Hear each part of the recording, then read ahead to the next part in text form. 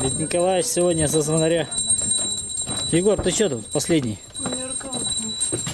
Рукавов. Так быстрее хватай их. Рукавов у нет. Ой.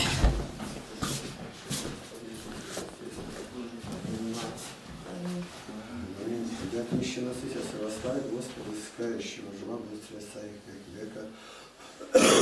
Слава Отцу и Сыну и Святому Духу. И ныне и присно, и во. Господи, помилуй, Господи, помилуй, Господи, благослови. За молитву Пречистой Матери всех святых Твоих, Господи Иисусе Христе, Сыну Божий, подвигай нас. Аминь. Божьей милостью, не грешно. Тогда мне, Господи, помилуй меня, если грешил, Господи, прости меня грешно, помилуй, руку не опускай к низу. Господи Иисусе Христе, Сыне Божий, помилуй нас. Объявляем, работа с бульдозеристом закончена. Как он приехал в воскресенье, сегодня четверг, 10 дней. Подвели итог, 81 час фактически он работал. Все намечено было сделано, не так, как хотели. Ну, и я подсказывал, где он делал не так было, такое сегодня дерево. Он пытается столкнуть, а дерево не одно, а три срослись вместе. И он бьет, бьет в него, ну видно, теленок бодался, говорит, с дубом, как сложенистым писал. Я подсказываю, ты отсюда бери, а потом вот так вот, потом постепенно корешки оторвутся, никак бьет, он, наверное, раз 50 стукнулся. И делает много времени потеряно, а я плачу за каждый час. Спросить, зачем делаешь, еще я сам не знаю. Но я ничего не говорил, просто молился. И все равно он потом сделал так, как я говорил. Я не бульдозерист, я просто знаю метод корчевки. Он раз, два, три толкнул, а она корни пустила, и пустила далеко. И вот этому, ну, сделали. Теперь у нас там ветла первая, которая упала у колодца, он выдернул, и она выдергивает, он выдергивает, а там яблони были, ну вот диаметр 20 сантиметров, даже меньше. И яму чуть не полметра глубины вытаскивает, когда за ним земля идет. Корни обрубить там или что сделать, я не знаю, и землю возвратить. Я для того это сделал, что когда у нас они там косят, чтобы больше был покос. Прошел по Уминаеву, где-то Надежда Васильевна, этот переулок, и он там выдрал, и везде такие ямы. Надо потом выбрать время, когда, я не знаю. Топором пойти, что-то обрубить, земля лопатой сдвинуть на место расширить покос. Оно дерево в стороне, и оно все время объезжает вот так вот. Вот сейчас мы поставили, как будто бы все нормально, разгладил. А глину-то бросал в воду, а под ним там вода осталась. А он послал, что большая эта машина СК-700 или какая. И он сразу продавил, и на дыбы вся наша работа встала. Ничего подобного. Сейчас рассказываю.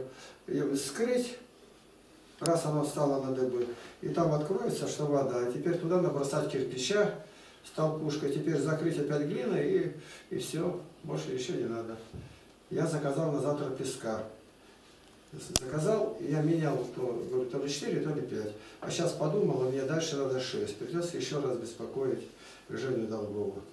Завтра я очень нужен. Завтра утром мы едем туда на канал, который завезли туда.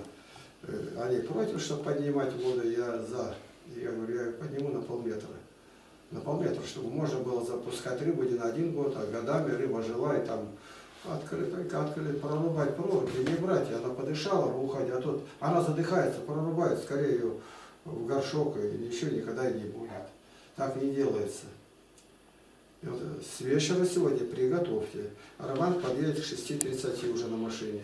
Значит, я еду туда, Значит, Володя, Никита.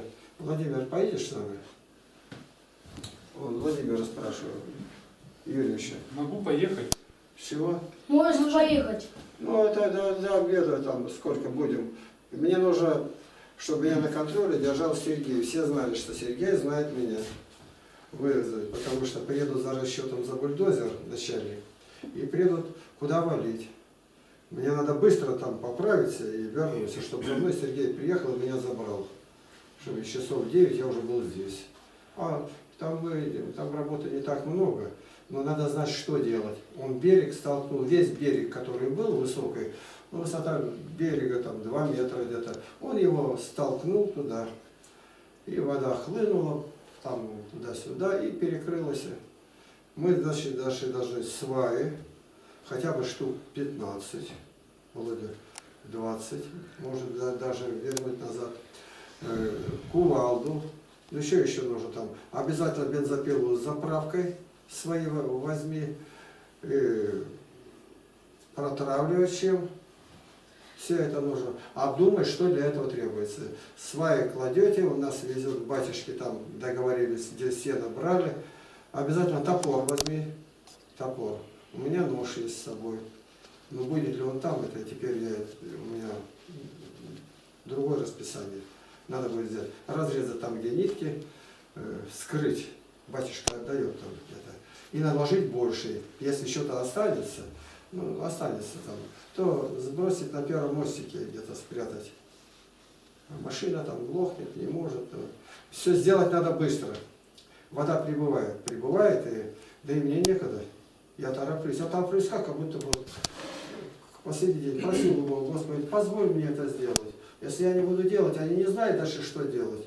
Даже вот эту дорогу начали делать, глаза, кто-то против. Сейчас ее надо выше сделать, мешает. И уже сделали выше, уже все у нас валиком было, как на нас для дороги. Пришлось убрать. И мы разгадили, она своей дорогой, но теперь это сделаем такая, чтобы она песчаная, это как тротуар оставили. Э, На ходу приходится меняться. Смотрите, как обстановка это показывает. Где глины. Игнатий всю глину истратил, я говорю, она моя. В 91 году я нанял, нанял два бульдозера американских, они приходили сюда, работали, Павел помог 100 рублей дал. А остальные мои расходы, моя глина. Ну, я там полно, говорю, еще, это я смехом говорю, так, на смешку, я начальник глины. Смешно даже. Батюшка, а куда корни девать? А корни вот такой вот высоты торчат, э, пни. Я говорю, мои пни, это три богатыря. Я поставил в ряд их, они стоят, чтобы никто дуриком-то пьяный не ездил, пьяный-то здесь. И он не убьется, она спружинит, назад его отбросит, он проснется, жена рядом стоит. Увидит папа отпивающего, я смеюсь от этого. А корни-то полпрутья вот так вот. Им подтащил, он сделал как надо.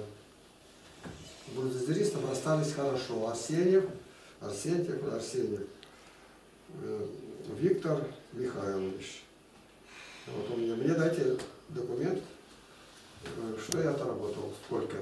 Я все подсчет на каждый день сделал, в присутствии Романа. Роман расписался, и бумажку ему эту отдал, я расписался. Завтра я должен отдать еще, видимо, 140 тысяч. 21 отдал. Понятно, для меня это 6550. Больше у меня нет нигде. Это Бог. А кто дал? Бог. Мой Бог, всемогущий Создатель. Я не могу назвать людей. Я не знаю, кто это сделал. Я пришел, а деньги лежат. Первую книгу выкупать, зашел человек, вы хотели книгу, я говорю, выкупайте, я не могу деньги выкупить. Это книга, первые стихи. Я вам деньги дам, но одно условие, чтобы никто не знал, что я к вам приходил. Он не один предприниматель там, ну, богатый живет-то. Я не говорю, книга стихи. Так это стихи, там, а кого было-то? Дальше у меня пошли миллионы, миллионы, э, миллионы. Все понимаете, кто финансирует, кто Бог. Он богатый, Бог в корне стоит, богатый, Он вечный. И Бог дает, и притом такие чудеса. Вот у меня священники однажды ночевали двое, я говорю, завтра книгу вот, предоплата сделала, сейчас надо еще 65 тысяч, а где дар Божий, дар Божий, вот видишь, И мы помолились, легли спать, среди ночи звонят, Сакраменто. Это у вас церковь Климента Анкирского? Я говорю, нет, это лагерь. А у нас Климент, дядя умер, говорят, молитва лучше приходит там, где э, храм в честь Климента. На утро уже в Эстон Юнион пойди получай деньги. Но я ни рубля не взял, я получил, батюшке отдал. Это твои знакомые. Я знаю, мне Бог с другой стороны пошлет. А откуда? А вот этого я сказать не могу. Не знаю. И вот сейчас сказать, что здесь не все сделано, сейчас на, на плотину уже в Корщино везде заговорили, что путь открыли, они не могут сделать, мы сделали. И мешали, что поломка, два дня дождь только по, из этих дней это убирать. Почти два дня дождь. И из-за поломки два дня получается. И все сделали. Посмотри, какая гора теперь, где жила Наталья Чернова, как освободилось-то все. Вот чем этот человек интересен, я что-то дорогой просто так скажу ему, он мгновенно это ухватывает. Вот. Прям мгновенно. Я сказал, пень этот, потом надо, вот тот, который спихнули, его сюда. Я сказал, когда все сделаем тогда, никаких. Он бросил всю работу туда. Он, я его как будто, говорится, за, смеются, за, зазомбировал. Вот что не скажу, я все рассказываю это, это смешно, зазомбировал. Это уважение. У него главные часы, что он делает работу. А я за ним хожу, как грач, когда пашут там черви где-то, я корень солодки собираю. Гляжу, он сигнал дает, у него там сигнал дается. А он посигналил, выскочил из кабины, перед ним уже заваливает корешки, там схватил и ко мне несет. Ну, смешно это даже. Шофер бросил все и выскочил, чтобы взять. Да, такая техника. Это Бог так делает. И отношение его, ну просто не скажешь как. Как будто, ну и я к нему старался где какую ягодку пойду соберу, подойду и вот там подкормить, побаловать, гороху там разного. То есть мы как будто бы все время знали друг друга. Были хорошие бульдозеристы. Каждый год, у меня третий год. А этот как будто бы выше всех. И все курят. Но не видел я ни разу, когда курят. Ну там у себя в кабинке где-то. И вот сегодня закончилось, я так, ну еще не закончилось, я еще завтра проехать должен туда. А дальше опять дела начнутся. А я больше не просил. На днях мы стоим, дня два назад, с Игорем Барабашом, и с клюшкой своей баба Серафима Гавриловна Плотникова пошла. Он говорит, прощается. То есть ей уже предсказано было, что она умрет, и она теперь идет. Вот смотрю, как она идет, как она все оглядывает так. И там дошла до храма, березки, она руку протянула, маленькая достала, листики пощупала, то ли оторвала. То есть она идет и прощается как бы с жизнью. А я-то за ней самый старший. Впереди меня она щит. Мне скажет, тебе уж помирать пора, еще себе впереди баба Серафима. Я говорю, еще смерть, ты сначала, это стена, когда родители живые, мы за ними как за щитом. А когда родителей нету, мы открытые, всем ветрам. И вот она пошла прощаться, это Игорь говорит. И я как будто бы прощался. Мне до того нравится вот порушенное восстановить. Вот разрушенная, душа такая, там заключенный, бывает какой-то, ну, потерянный, потерянный. Я над такими людьми неприметный, не то, что я подошел, давайте читаем Библию, я не трогаю, но я все время держу под контролем. Спрашиваю, где, как, она-то это чувствует и понимает. Голубая посмотрела, Да. запомнишь. А если бы это было э, на той голубятне, сейчас там у меня нету, тогда бы голубят подержала в руках, а тут они высоко, но не будешь пугать. Так, садимся за стол. Володя, все собрать, сегодня сложить. На всякий случай ломик взять. Давай. Даже не верится, что работа окончена. Говорим, Господи, дай мне окончить. А когда окончил, еще все равно помирать неохота. Тополи решили не валить, да? А? Тополи решили не валить? Нет, никто не согласился. Никто. А этот начальник согласился согласиться, говорит, чтобы дверки были открыты, будет на него падать, чтобы спрятался за бульдозер. То он бульдозер, давнет, и в лепешку.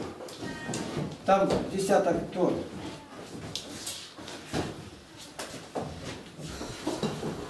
Кружек наставили, еще нет, что-то налейте.